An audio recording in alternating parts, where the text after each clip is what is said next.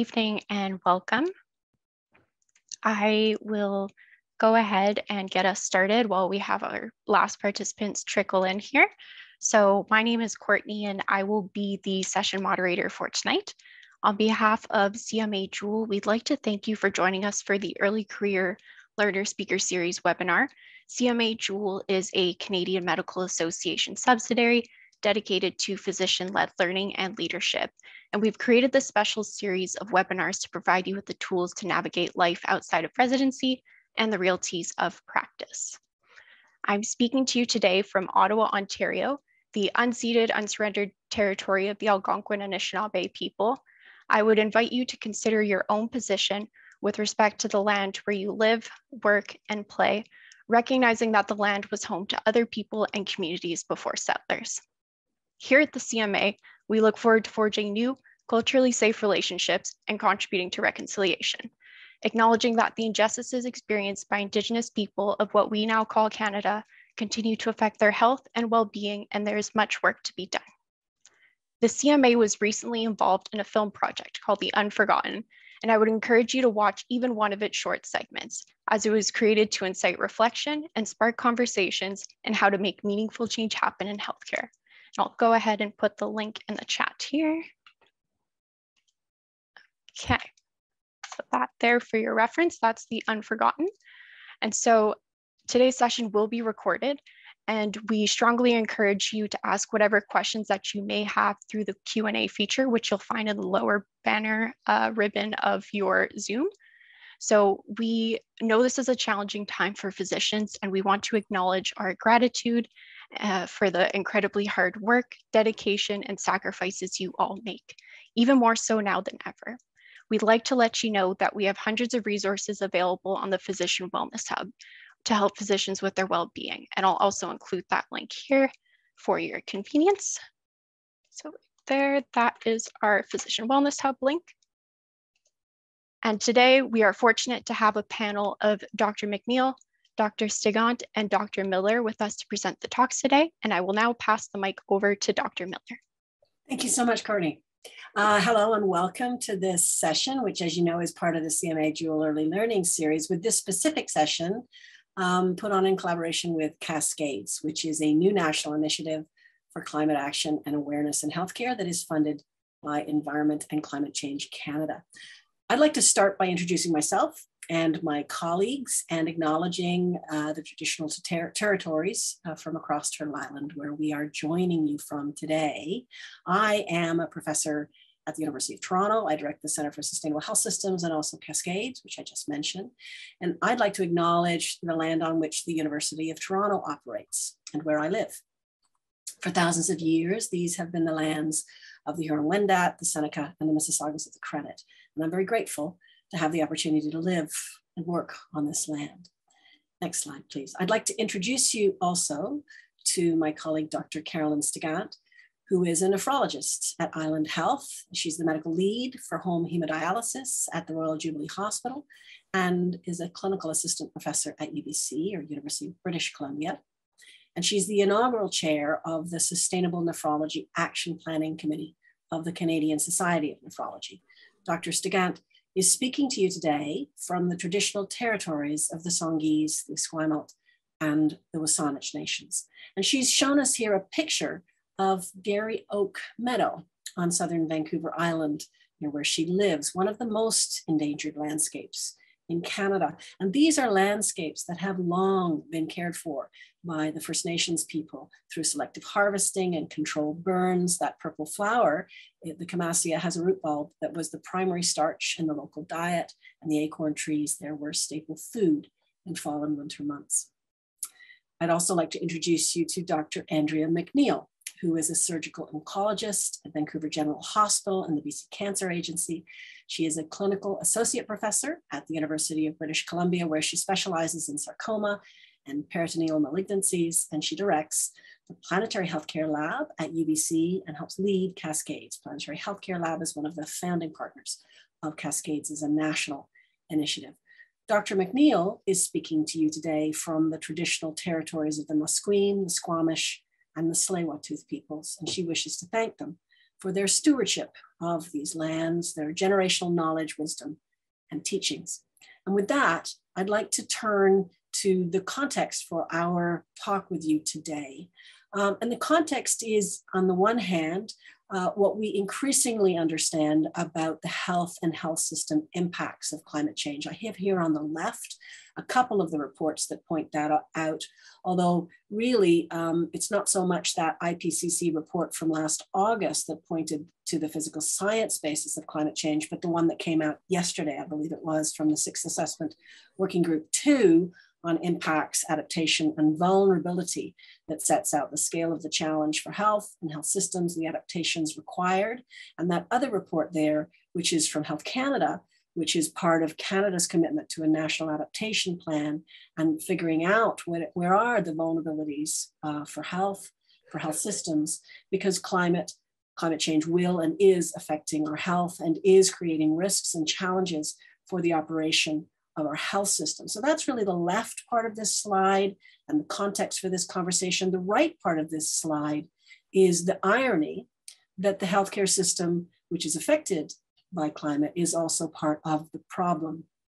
So here we have an article led by my colleague, Dr. Andrea MacNeill and her colleagues, uh, that did, who did the first national assessment of the environmental impact of Canada's healthcare sector, which um, produces almost 5% of national emissions, which is in accordance with many uh, developed countries around the world. And taken together, the healthcare sector around the world, health systems around the world are would make um, as about 4.6 of global emissions, which makes it a very significant emitter uh, among, uh, among big emitters on the planet.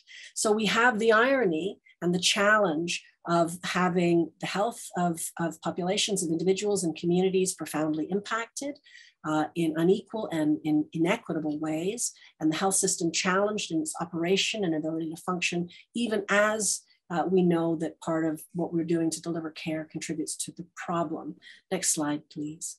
We are at a good time, even if a challenging time, because the other part of the context for this talk is the increasing effort to mobilize health systems and health professionals in responding to these challenges. And many of you will know that at the Conference of Parties meeting, COP26, last November in Glasgow, health and health systems were featured uh, even more than they have been previous of these international conferences. And indeed, there was a very important health program pulled together by the WHO and other groups like the English National Health Service, which has been a global leader, to galvanize national commitments across the world. And Canada, along with the US and over 40 other countries, committed to deliver both climate resilient health systems and health systems that are low carbon and sustainable. So we have now, I think, importantly, for the first time, a federal commitment and realization that the health sector is and needs to be a very active part of building towards a low carbon economy by 2050. We know that several of the provinces are already moving in this direction, but I think this is an added um, impetus for action and support for action. And meanwhile, initiatives like Cascades uh, and other groups around the country that we work with um, represents and tries to galvanize some of the capacity which is growing and which many of you in the audience also help to represent. Uh, and so I think we are, yes, facing a challenging time, but a, time when there is considerable opportunity uh, to collectively uh, make a change. And with that, I'll pass uh, the mic over to Dr. Uh, Stigant. Thank you very much. Uh, these are my disclosures. Slide. Yeah, so we've had an introduction here um, from Dr. Miller uh, about this terrible situation that we're in. Um, and in the upper left part of this graph is where we're going to start um, looking at the significant rise of carbon dioxide emissions, um, not news to anybody on this call, but perhaps news that the concentration of greenhouse gases in our atmosphere is increasing 100 times faster than they have at any other time in history. And when I say history, I mean 800,000 year history. We know this from uh, scientists obtaining um, tiny air bubbles and analyzing their CO2 content uh, from deep within the ice sheet. Um, also, um, the concentration of greenhouse gases is double that um, of a historic average um, from pre-industrial times. And I want us as physicians to focus for a minute on the implications of physiology, of a doubling of a physiologic variable uh, like CO2, like pH. And we'd all understand uh, the very dramatic effect that has on our body systems. And it truly enrages me that we're in this situation due to carelessness. Um, and we, we will do better and we must do better. So these increase in emissions, um, moving right on this plot, you can see uh, through the greenhouse effect, we've all heard how the temperature increases. And to reference this problem, we're now on average from pre-industrial times over one degree warmer. That's the, the Earth at large. Canada, because we're northern and the poles are warming more, Canada has um, heated by two degrees and our north even more by three degrees. So some people might say, so what? What's one degree? What's three degrees? I can't even feel that. 11,000 years ago, at the time of our last ice age, the temperature, mean temperature difference between now and then was five degrees. And that is very alarming when you think that our north is more than halfway to the ecologic difference from an ice age ago. So rising temperature, we've all heard it melts the sea ice. Again, the concern there being many uh, ecologic implications and health. 40% of people live within 150 kilometers of uh, the sea or the ocean. And although 150 kilometers may seem a long way away, if it's flat and if it can be overwhelmed, or if coastal water sources and sources of vegetation and livelihood are overwhelmed, leading populations to retreat, we're talking massive, massive impact. Further to the right on this curve is the effect on uh, weather patterns. And we feel in BC that we've been um, uh, unfortunately witness to um, some of these events. So drastic weather, and it may be wind, it may be rain, it may be too little rain um, and too much sun and too much temperature. So let's factor in these ecologic factors with um, what I would say are human factors. We live in a variety of different areas, perhaps a low lying Pacific island, perhaps one of the coastal areas I'd mentioned, perhaps inner city in a poor area where there's lots of pavement and not a lot of cooling. Perhaps in a under-resourced country as an agricultural worker without a policy that might protect us from the heat of the sun or volume depletion. And through these different exposure pathways at the bottom are various examples of health outcomes. So I'll just walk from left to right across this slide. It's not too difficult for us to picture how extreme weather events might cause, for example, traumatic injury. We saw moving to the right here in BC, the heat stress, 595 people died in British Columbia over the course of four days from heat stress, something that none of us were really trained to look for. Air quality, there's a longer um, pollination season. Um, there's uh, there's sort of natural um, uh, allergens that may occur in the air, and there's also pollutants. We'll get to that air quality um, in just a moment. But um, significant triggers for asthma or COPD here, um, and pulmonary infections. There may be too much water in places that water has not historically been. And I'll just jump to the right there about the vectors because that will affect insects, of course. And so here in Canada, um, we've seen a rise in West Nile virus, particularly in Western Canada, um, and some tick-borne diseases, particularly in central Canada. The food supply and safety and social factors in my mind are intrinsically linked. Um, there's been tremendous migrations of peoples already that I think have been incorrectly attributed to um, social issues, social unrest, war issues. But I think fundamentally there's a, there's a competition for land that is starting that puts tremendous strife. Um, people are on the move. We're competing for limited resources. There is food scarcity. And sadly, I think we'll see more of this. And next slide, please. This depicts these issues here in Canada. So they've sort of highlighted the, the key um, issues in each area, but these are by no means mutually exclusive to the geographic part of Canada that's featured. And I want to draw attention to Northern Canada, again, with the significant warming that's happening there and the traditional loss of um, ability to uh, maintain one's livelihood on the land. Um, so there's a difference in where animals are distributed. There's a difference in the ice, the safety of being on the ice, of living a traditional lifestyle. So tremendous anxiety for our northern neighbors. Next slide. So it certainly surprised me when I started looking into this area that one in four deaths worldwide currently are linked to the environment. And it surprised me even more that two thirds of those are non-communicable. So I would have pictured, you know, accidents or infectious pathogens or, or the like. But if you look at the top 10 causes here, number one and number two are stroke and ischemic heart disease. So we're going to get into that. Um, moving to the left on this graphic of where is it happening, North America is relatively spared.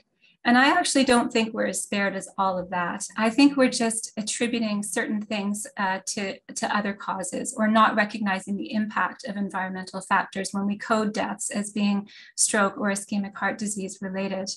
But we're also relatively protected because we're not as relatively um, as highly an industrialized area as the others. The next slide. So the fossil fuel component of air pollution is responsible for the majority of the majority of the deaths. And there's some data here on that. Next slide. So how might this happen? So uh, I'm not sure if anyone has heard of particle pollution. I had not. Um, this denotes uh, one of the factors of the air quality warning, um, and it's they're called PM 2.5 in some instances. These are 2.5 microns or smaller in diameter.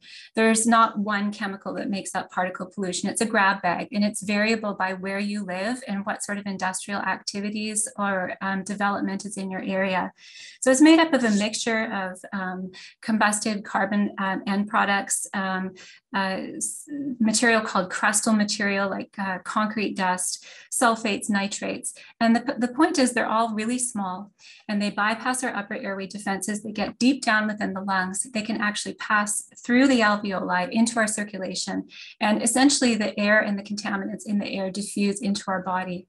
And from that point, we have activation of the um, systemic uh, inflammatory response. And this is pro-atherogenic.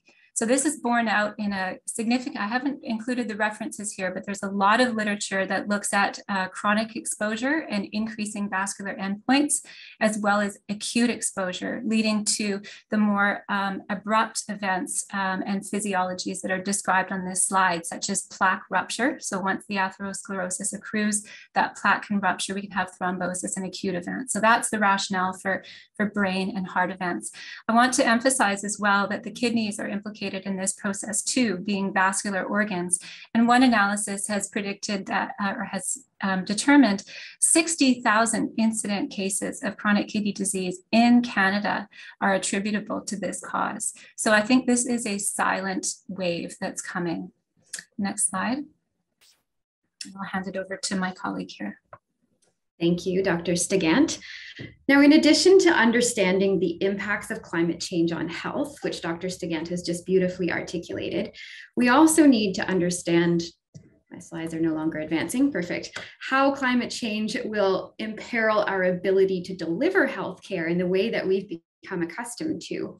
And this is an infographic that's published by Vancouver Coastal Health's Public Health Group, depicting the impact of climate change not only on health, but on health systems. And this necessitates what we call adaptation in the climate world, which is preparing for the inevitable impacts of climate change and building resilience into our system against future disruptions. And as Dr. Stigant alluded to, we in BC last year experienced a series of climate catastrophes that not only had devastating public health impacts on our, our general population, but also significantly interrupted our ability to deliver care. So during that heat dome, our hospitals were so overwhelmed with heat related illness that all elective surgeries were canceled for a number of days. During the historic wildfire season, we had to evacuate hospitals or long term care facilities from the interior of BC. And then the atmospheric river in the fall washed out critical infrastructure such that dialysis patients could not get to their treatments. I had cancer patients who could not get to their daily radiation treatments, and their oncologic care was significantly compromised by these events. Now, I understand from my public health colleagues that this degree of disruption was expected, but not projected to happen for years. And this is in keeping with yesterday's IPCC report that has painted a bleaker near term future than was previously expected. And as Dr. Miller laid out in the introduction, there's actually a bidirectional relationship here between climate change, health, and healthcare, in that not only are we and our patients impacted by climate change, but we are also significant contributors to the problem. The task of reducing our impact on the climate is called mitigation, and that's the partner of adaptation in the climate world. And these efforts have to be intentionally co created. Now, if we apply this lens of the interconnectedness of human and environmental health specifically to the healthcare system, we arrive at what I have termed planetary health care. And I think that this concept begins with an expanded notion of our duty of care from simply that individual patient in front of us to other patients, both present and future, to the general population and to the planet. And this is beautifully encapsulated in this Lancet call for an updated Hippocratic oath for the Anthropocene that I would encourage you all to read at your leisure. A year ago, we published a framework for planetary health care with the purpose of conveying the scope and the scale of systemic transformation required, and to try to dispel the myth that sustainable healthcare is equivalent to waste management. So I'm going to provide a brief overview of this framework, and then Dr. Stigant and I will illustrate the application of it to medicine and then to surgery to try to inspire you to operationalize it within your own practices. And the first thing you have to understand about this is that every healthcare activity has a footprint. Every treatment you provide or test you order consumes material resources and energy and generates waste. So anything that reduces the incidence or severity of disease, thereby decreasing the amount or intensity of care required, is climate change mitigation. And to do this, we need universal access to preventive services and good chronic disease management in order to keep patients' interaction with the healthcare system at the lowest level of resource intensity and to optimize their determinants of health to keep them from needing care. The second operating principle of planetary healthcare is matching the supply of health services to demand, which means avoiding both overuse and underuse of healthcare. Underuse of necessary services like vaccines and cancer screening leaves patients vulnerable to avoidable disease. Overuse of health services results in avoidable harms to patients, in financial harms to health systems, and to environmental harms. And inappropriate or low value care is care in which risks or harms outweigh the benefits, or care that will not influence your clinical decision making or change outcomes. I think that appropriateness of care is a neglected dimension of healthcare quality. And we know that it stems from both system factors like healthcare structures and funding, and also from clinician and patient behaviors. Our third operating principle is decarbonizing healthcare or reducing emissions from the supply of health services. And this includes the classical notions of sustainable healthcare like green buildings, energy management, and, and transport fleets but those have typically not been within the purview of the clinician. We also, in this tier, have an enormous opportunity with, supply, with respect to healthcare supply chains, which we now know comprise the majority of healthcare emissions, and ways of delivering care in more efficient, coordinated, equitable, and low carbon ways. Now, the literature describes three levels of social accountability in clinical care, and we've adopted this to create what we're calling a ladder of engagement for clinician action around climate and ecological health. The micro level refers to actions that individual clinicians can take within the scope of their day to day practice. Meso level actions occur at an institutional level, so most often a hospital or a health system or within the local community. And macro level actions are undertaken by governments, by professional societies, and regulatory and oversight bodies that have the capacity for sweeping top down mandates across the sector. As clinicians, we can influence all of these levels by adopting an advocate role or assuming leadership and administrative roles within our organizations. We've operationalized this framework for the individual clinician and published this in the BMJ a few months ago. So I refer you to this for a comprehensive overview of planetary health care. But Dr. Stigant is now going to take us through a case study of nephrology to highlight the opportunities that are presented by a chronic disease for low carbon resilient care. And she'll apply each of these operating principles to the treatment of chronic kidney disease. This could equally apply to other chronic diseases or to the practice of family medicine or other medical specialties. Yeah, thank you. So I call, um, I, I, really echo uh, what Dr. MacNeill had just said there about uh, cause and consequence. Um, climate change causes kidney disease, and the management of end stage kidney disease in particular contributes uh, to this load. And reflecting on this, I think nephrology practice is really at the nexus of all the issues that we're talking about today and is an interesting case study. Um, I don't know how many people are nephrology focused um, on the line. I'm going to guess that most of you aren't. And so, with you in mind, I've tried to bring in little snippets of other specialties and make this relevant uh, for some of your practices and um, career pathways. So we have opportunity and obligation, as I call it. So um, kidney disease is really common. Um, all of you have looked after kidney patients. Um, many of them you probably didn't even know were kidney patients. They can have asymptomatic disease. And uh, as you likely know, when kidney failure happens um, in other conditions, be that uh, cirrhotic liver disease, be that um, chronic infections, um, malaria, bacterial infections, HIV infection, uh, with uh, diabetes, with um, congestive heart failure, patients do dramatically worse. So it's a risk multiplier for all conditions. The incidence of end-stage kidney disease is dramatically increasing. Um, the world, uh, the um, International Society of Nephrology has called um, kidney disease the most neglected of the neglected chronic diseases. Um, and on our watch, again, we have to do better.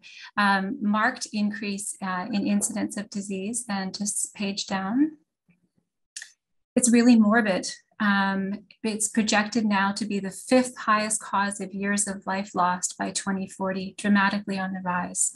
And the treatment for it is costly. I've shown you financial cost here. I, I should have included um, transplantation, which is um, in some sources a half or a third of the cost of dialysis. Um, but not only is it costly to the patient, it's costly to the funder, but it's costly to the environment. So again, these are the three bottom lines that we're talking about today. And next slide. Huge personal impact here. Um, there is increasing um, grief uh, amongst the care team about the waste um, there are questions about what can we do with this volume of waste. Um, this on the right, the graphic is a photograph that one of my home hemodialysis patients took. This represents one week of her garbage and it's only her dialysis supplies. This is not her regular household garbage. There's two other people in her household. Um, the remaining week's worth of her dialysis garbage supply is taken to her brother's house. He lives in a condo, so she won't have to pay for it. Otherwise, they were billing her for it. They were sending her letters saying, don't throw so much garbage out. And she came back to us and said, what can I do? Next slide. Uh, we've heard uh, very nicely um, in the preceding slides from my colleague about systems impact. And again, the, the need for adaptation to these is really exemplified within nephrology. We had um, we have a disaster plan that is, I'd say, fairly ironclad um, for, for medical field. And, um, and rightly so, after the recent atmospheric river and the floods, a lot of our home dialysis patients in particular um, ran, uh, had issues of getting shipments to them in a timely manner manner. So how to jump in with resources. And I want to draw attention and commend uh, the amazing work of the, the group of people you see here. This is a group of hemodialysis nurses who worked in a town called Williams Lake. In 2017, the entire town had to be evacuated. Uh, so the, the dialysis unit all the patients, all the staff included. Uh, they went to a community about 120 kilometers away. Overnight, they learned how to use a new dialysis machine and they welcomed their patients the next day. So there's some success stories here, but we wish we didn't have to do that. There is a tremendous global impact on water, energy, and uh, single-use disposable, um, and the energy and uh, pollution associated with that from our end-stage kidney disease treatments. And I haven't featured peritoneal dialysis, uh, but the story is likely not too different from that. Next slide. So uh, before we get into uh, Dr. MacNeill's um, approach um, and our personalization of it, I wanted to really stress uh, th this was conceptually very helpful to me when I first started thinking about this problem of how to reduce carbon without reducing health. And I just want to really drive the point home that we're not talking about rationing, we're talking about optimizing patients' health, but I think being smarter about how to do that. And some of the ways in non-nephrology areas um, that prevention uh, some of these are obvious, right? Like non-smoking, um, but you know, th thinking laterally on being active, um, bike bike helmets uh, is an interesting prevention example. Um, uh, exercise regimens, another interesting one.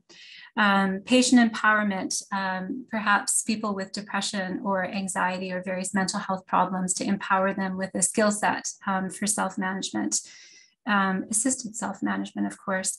An example of a lean pathway would be for people who wish to be organ donors or even recipients um, to instead of have their tests um, coming over many days to expedite them and coordinate them so that it's a same day workup. That's an interesting um, concept we're working on locally.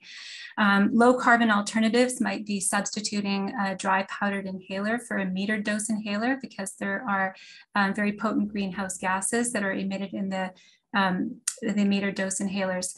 And an example of an operational resource use might be um, reclamation of an anesthetic gas in the OR setting. So, so some examples to get you uh, motivated and thinking. So I, I, really want to thank the Canadian Society of Nephrology for their leadership in allowing us to put this um, group of people across Canada together. Um, that's just really unrolling in the past few months, Sustainable Nephrology Action Planning. We've got a, our own logo uh, designed by my 14-year-old daughter. Um, so a, nice touch of home there. Um, vision and mission statements, as you see here, and uh, we're really big on verbs, uh, education, innovation, advocacy. Um, we, we wanna get stuff done. Next slide. So um, taking that framework, um, a lot of health promotion, um, disease prevention, and chronic disease management is done in nephrology care, certainly, but a lot of it is done upstream of nephrology care. We really need a primary care, a referral care, um, a referral source care to engage with us. And so I thought I would just have a, um, rather than say, please manage chronic diseases effectively, I'd dive into that a little bit because I think everybody on the call probably knows that it's tough um, to do effective chronic disease management. So I think um, some strategies that I give you are um, motivated motivational, learning how to have motivational um, assessments and discussions with patients. Um, scratching below the surface a little bit, demonstrating really um, your um, contract with them and the fact that you care about their outcomes. An example of that is for smoking cessation when I'm talking to patients. I don't pretend to have the perfect approach to this, but I always ask people who stop smoking, how did you do that? Um, and, I'm, and I'm very pleased to hear occasionally they say, you cared and you asked me to do this. And I think that we can't underestimate the effect that we can have in some of our patients' lives. So that's one example. Um, we've I've put on the left here some various ideas, um, but you know, reducing um, barriers to access. So we've got webinars, we've got podcasts, we've um, can speak to patients on their terms. Um, maybe having social media champions, uh, lay people embracing certain causes. So I think we can be innovative in how we speak to people. Another uh, is that yeah if we can do a few more points on that. I think that everyone on the call really needs to have, every practitioner, a rock solid approach to management of vascular diseases. Um, so diabetes, ophthalmology even, um, you're gonna be looking after people with hypertensive eye disease, uh, people with diabetic eye disease, um, liver, uh, chronic liver disease, uh, NASH, um, uh, vascular surgery, cardiology, you know, the list goes on. So everybody should know where their guidelines are found, the targets that you're treating to, um, inform your patients, challenge the patients to meet these targets. It takes work to manage this effectively. Also, this uh, notion of health in all policies framework, and here's the advocacy role, this sort of macro system role for, for colleagues. You could take on a variety of causes depending upon your care area's interest and expertise. And, you know, one example might be um, uh, campaigning for um, agricultural use of antibiotics or not. Uh, pesticides, taxing or um, subsidizing um, foods um, to promote healthier eating habits, just lots of different ideas. And next slide. To get more to their kidney world than in this one, I think there's some important um, messages from kidney care here. Um, the management of hypertension is cost effective. And I find it interesting in Canada that we pay for end stage disease management, um, but I think we should be doing more uh, to fund preventative um, treatments. Um, another newer example of a, of a treatment that thankfully we have now are SGLT2 inhibitors, and it would be wonderful to see those funded in target populations to reduce the risk of people progressing to end stage. No one wants to reach end stage. For those who do reach end stage, they want a transplant. They don't want to be on dialysis. So we have to look at ways to increase transplant. And I talked about a lean service care pathway um, previously that may optimize that. We are industrial scale orders of lab testing. And I think we need some literature around the guidance, which are opinion based, sort of best practices based for how often we should be measuring lab work. It's my observation that most of the major changes in patient status when they're started on dialysis or medications are changed, usually there's a symptom that they come up with. And I think that's an area ripe for a study of how often is it symptom or patient driven that comes to our attention that we would then initiate um, additional testing on, on the background of their baseline testing. Um, in terms of appropriateness of care, we can dialyze people to closer to home, and there may be some savings there um, with carbon emissions associated with travel. And choosing wisely is a really important one. I would encourage you all to look at the Choosing Wisely website in your specialty and in related practice areas. Um, and even internationally, there's some interesting ideas. Um, and for us on dialysis, we want to make sure that the right people are receiving dialysis. Um, there is an option of conservative care um, for those who would uh, felt not to benefit from dialysis care. So ensuring that those patients are optimally supported in a non-dialysis care trajectory is also really important. And we're starting to look at and uh, communicate the importance of environmentally preferable purchasing. Next slide. Um, because we're major users of equipment and single-use products, I think this one is, is a bit easier to picture. Um, we have opportunities to work with our industry partners uh, to challenge them to come up with lower carbon um, and zero waste um, treatment options. Um, we're hoping to work with transit authorities in um, uh, getting low carbon options to mandatory visits. Of course, dialysis, hemodialysis patients have to attend healthcare appointments three times per week. They don't have the option of a virtual care appointment. So decarbonizing transport is a big one for us. Um, and perhaps looking at innovative materials like more biocompatible um, or, or better managed plastics. I'll hand it over to, oh, not yet. I have a few more to go. Um, right, so back to you, to, to the audience then. What can I do? You have to think and function a little differently. And I hope we've given you some ideas here. And you can just open up to all of these, um, Dr. MacNeill, thank you. So on, on the micro front, um, I would say first and foremost, uh, measure your own carbon footprint. Um, there's some good websites here and challenge yourself to do better in your own realm. And it becomes fun. It's quite addictive um, and uh, it is very helpful to get you thinking about where the major sources of emissions are. It's critical to get patients to have uh, time outdoors. We know there's data that it's effective for chronic disease management, but also people will advocate more for nature preservation um, when they have a relationship with nature. So to compound um, our caring for the environment, this is really critically um, important. I've talked about um, the preventative um, and hopefully effective preventative um, practice I've taken to having patients look at the weather report and pay more attention to the weather report. Make sure you've got a few weeks supply of medication. In the case of dialysis patients, make sure that you've got a few weeks of supply um, of your of your of your home stock, um, and make sure that you've got a personal um, disaster plan as well as the program having one. And a, a special reminder here of um, underserviced, um, racialized, and special needs populations, uh, of which we have many. Um, they have unique health needs, and please consider them in, in your planning.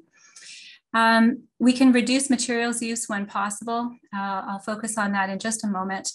Another ask that I'll have uh, message for you is please know in the institution in which you work, whether it's a larger clinic or whether it's a hospital setting, make sure that every one of them has a sustainability plan. There's all kinds of resources, including on the handout that we've prepared for you for how your institution could approach this. This is key because um, you cannot function in a vacuum on this. This is systems based. And then we've challenged you to think big as well.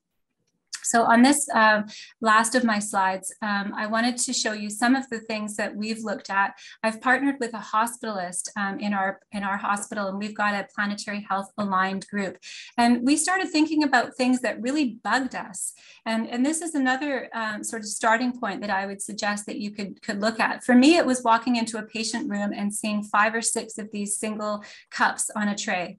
It's just ridiculous. So we're got, we've got our purchasing people getting uh, the blueware, Tupperware, getting rid of these um, single use. We've got campaigns on appropriate use of nitrile gloves. So um, there's lots of opportunity in your care setting. And I'm leaving you with uh, the last look um, in my last slide here with some local inspiration throughout the seasons, um, some beautiful sites to um, nourish the soul along the way. Thank you, Dr. Stigant. And now we're going to switch gears and in our last few minutes think about surgery to complement the medical perspective you've just heard. I'd like to try to convey the scope of the opportunity that surgeons have and how we can best focus our efforts. The OR is widely recognized to be one of the most resource intensive health services, and it's a significant contributor to the environmental impacts of health systems. In 2017, we published this carbon footprinting study of three hospitals in different countries, and it was a very granular carbon accounting exercise of everything that happens in the OR, because at that point, I wasn't thinking more comprehensively about the practice of surgery. And we compared three tertiary care centers in different systems and, and our findings showed three key things that I want to convey to you today. One was around the disproportionate impact of inhaled anesthetics and specifically desflurane on the OR carbon footprint. All inhaled anesthetic agents are greenhouse gases, but one, desflurane, is disproportionately worse than the others. And we found that the British hospital, which didn't have that drug on formulary because it's more expensive, had 10% the anesthetic emissions of the North American hospitals where it was in widespread use.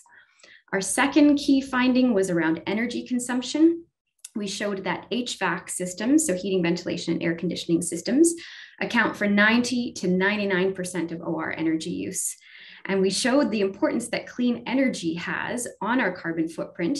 As you can appreciate in the second line of this table in Vancouver, our energy footprint was one third of that in Minnesota because our electricity is from hydroelectric, hydroelectric sources and theirs is coal powered. And the third key finding was that emissions generated in the manufacture of the consumables that we use in the OR far outweigh those associated with their disposal. So I realize that the mountains of waste that we generate in the OR are the most visible and gut wrenching of our environmental impacts. But in fact, the choice of consumables that we use in the first place is far more important than how we dispose of them. So these three findings have been instrumental in guiding our, mitigate, our mitigation efforts ever since. And since the time of this study, I've come to appreciate the role of decisions made and actions taken outside the OR and how these contribute to the footprint of surgery and how we can intervene along the entire continuum of care to minimize our environmental impacts while providing higher quality and more equitable care. So just like Dr. Stigant did for nephrology, let's just walk through the framework with respect to a surgeon's practice and appreciate that even if we can't influence our OR's HVAC system, we still have tremendous opportunities for impact. On the health promotion front, cancer surgery is a significant component of many surgical spe specialties, so we can embrace opportunities for cancer prevention or early detection. This includes things like optimizing cancer screening programs, but also adopting an advocacy role. And I can think of no better example of this than Dr. Frances Wright, shown here, who is a melanoma surgeon at Sunnybrook. And she, I believe, is now the head of surgical care for Cancer Care Ontario. She was instrumental in lobbying the Ontario government to have tanning beds banned to youths under 18. That's one more thing here. Um, with respect to chronic disease management, many surgeries are to treat the consequences of chronic diseases. So much as Dr. Stigant described, there are opportunities for good chronic disease management and optimization of comorbidities with the goal of preventing people from arriving at the point of ever needing surgery. So, as she mentioned, liver, kidney, lung transplants, these are all the result of end stage organ failures, which in many cases have modifiable risk factors. She also alluded to vascular surgery, which is driven by modifiable risk factors, and there are many other examples preoperatively, we have a number of different stewardship opportunities or ways that we can drive appropriate care. As surgeons, a big part of our job is determining who would benefit from surgery. And despite adages about hammers and nails, we do try to exhaust options for non operative management and ensure appropriate patient selection. There have been 13 RCTs showing that knee arthroscopy is no better than physiotherapy for the treatment of osteoarthritis. And yet it took years for that data to have a clinical impact. And up until just a few years ago, this was still the primary indication for knee arthroscopy in Ontario. Part of patient selection is shared decision making, which refers to the process of situating evidence within a patient's own worldview and helping them apply their own values and preferences to it. And RCTs have shown that up to 20% of elective surgeries would be unwanted if patients had access to unhurried, transparent, honest information. Our current uncoordinated care pathways often result in patients undergoing unnecessary investigations and treatments before arriving at their definitive treatment providers. Adhering to evidence-based guidelines for preoperative investigations can avoid, avoid non-value add tests CIHI and Choosing Wisely released a report in 2017 looking at unnecessary care across seven areas of primary and specialist care. And they showed that up to a third of patients having low risk surgery had unnecessary preoperative tests. Postoperative complications are bad for patients, but they also necessitate additional resource consumption from needing ongoing care. So, optimizing patients for surgery to minimize their risk of complications is a component of planetary health care.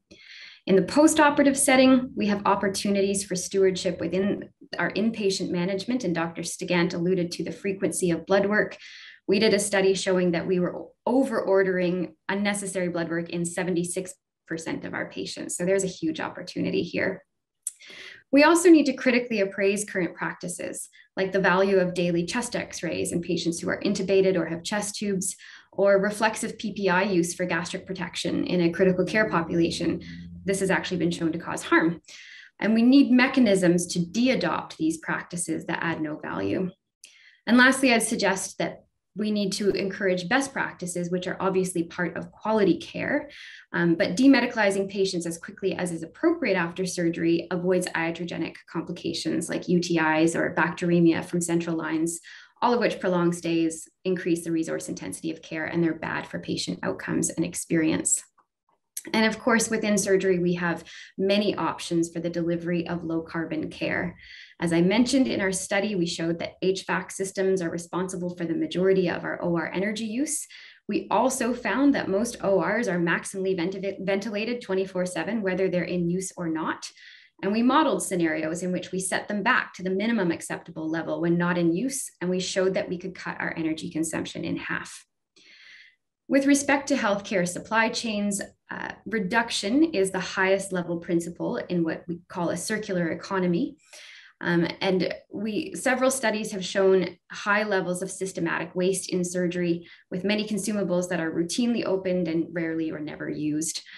There's a group in Toronto that's applying AI technology to inform strategic streamlining of surgical instrument trays and showing considerable cost savings and material resource use and waste.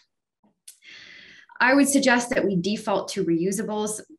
almost all of the studies called life cycle assessments that we have comparing different products have shown significant environmental savings with reusables. So when in doubt, default to these, and then use your advocate role to try to influence your organization to preferentially purchase reusables. Now, even appropriate care can be inefficiently delivered. So better coordination can reduce emissions both from patient travel and from repeated interactions with the system. And this is particularly relevant in cancer care Oh, my Wi-Fi froze.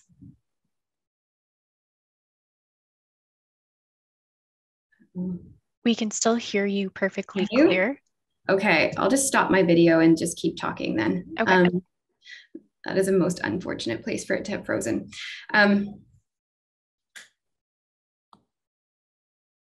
can you still see the screen share? Yes, we can. Okay.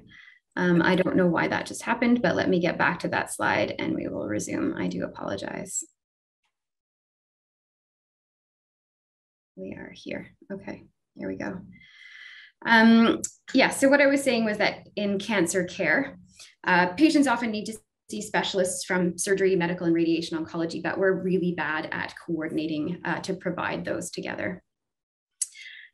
IT systems can allow sorry, I don't know what's happening here. IT systems can allow care to be delivered remotely. So in BC, I can order imaging anywhere and view the results. And this avoids patient travel, improves patient experience, and it also avoids duplication of care from incompatible systems. And finally, appropriate use of virtual care can also avoid patient travel, and it's an important component of health equity in opening up access to specialist care to our rural and remote populations. I'm very quickly just going to, I think, finish on this example because I want to give us time for Q&A. So I'm just going to give us an example from anesthesia, which we would consider, consider part of the provision of surgical care to demonstrate the co-benefits of low carbon care and the alignment that we see with improved quality and patient experience. So as I mentioned, inhaled anesthetics are potent greenhouse gases.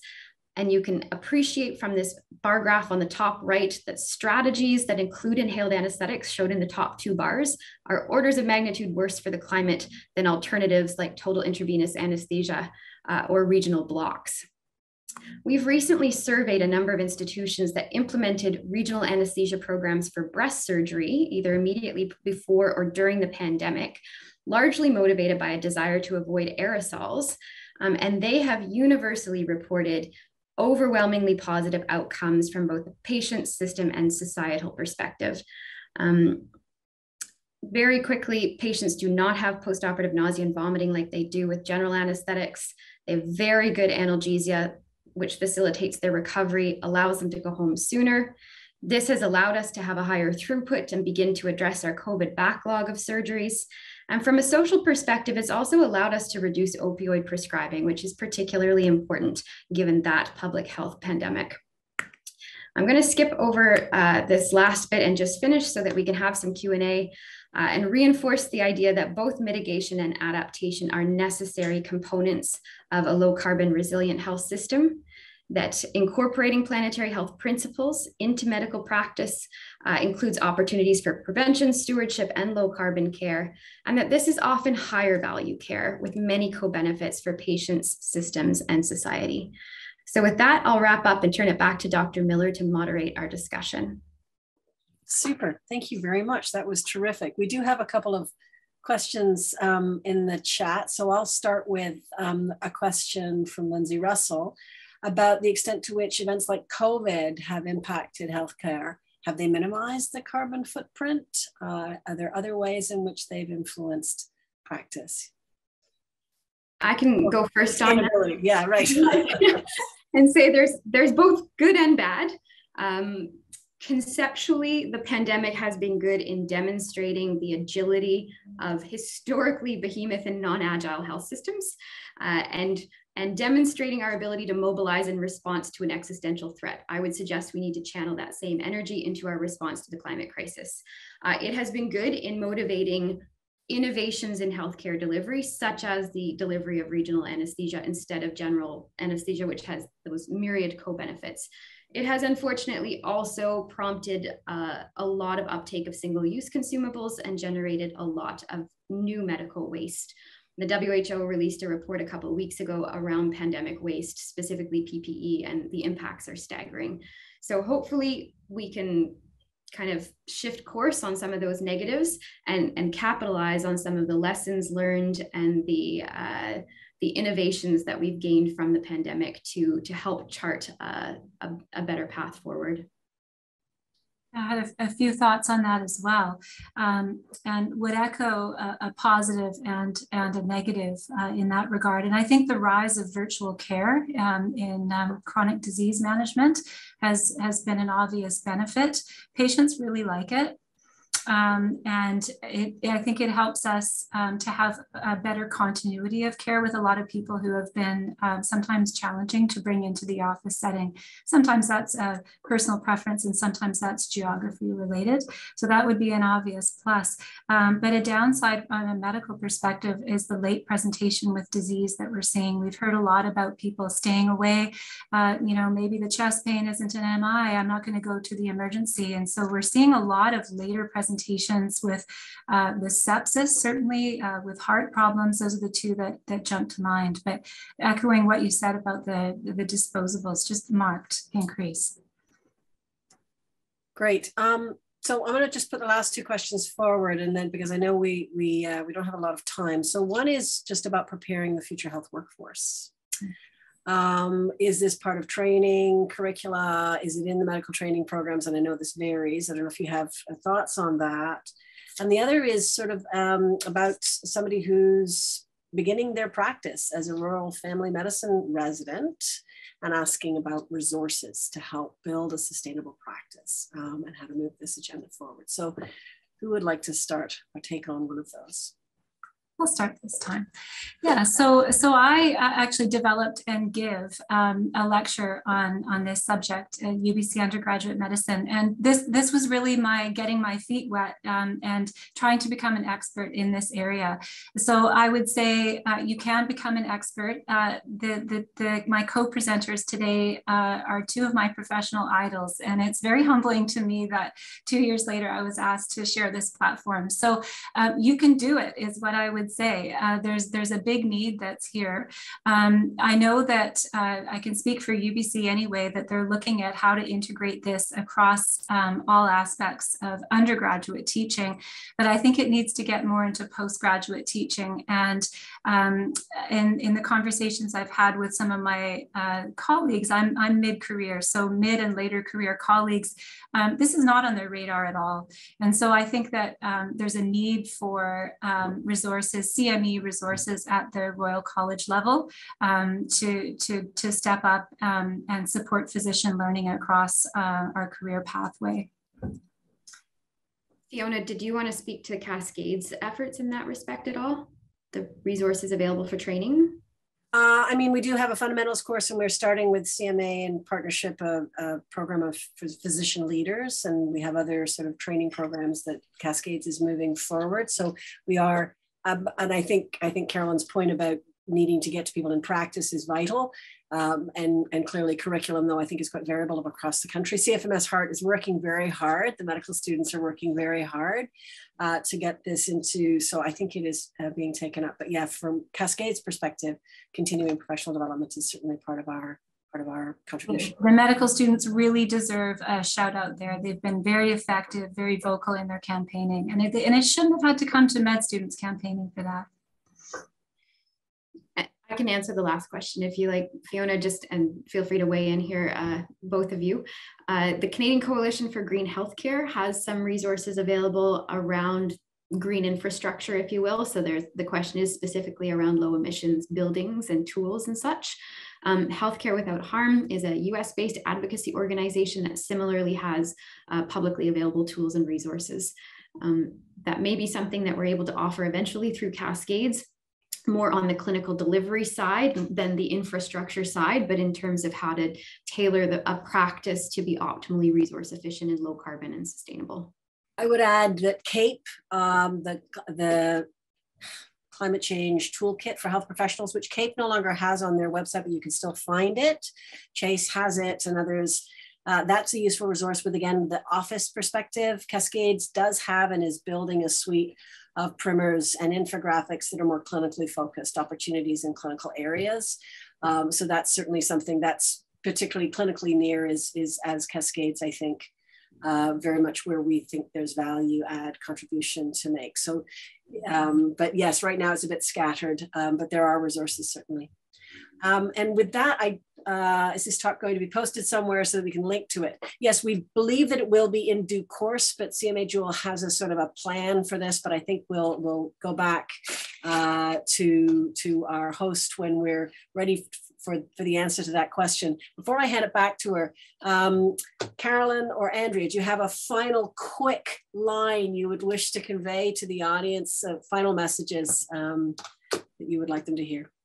I would say thank you for caring and spread the message of care. I mean, this is this is bigger than us. This is bigger than our medical practice.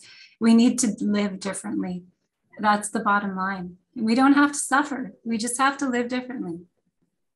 And I would add to that that this is not additional to other core values within medical practice. This is part of patient safety, quality, equity, um, social value creation, all the things that we are aiming for as health professionals. So do not consider this in competition with those as some sort of competing priority, but part and parcel with high quality, equitable care.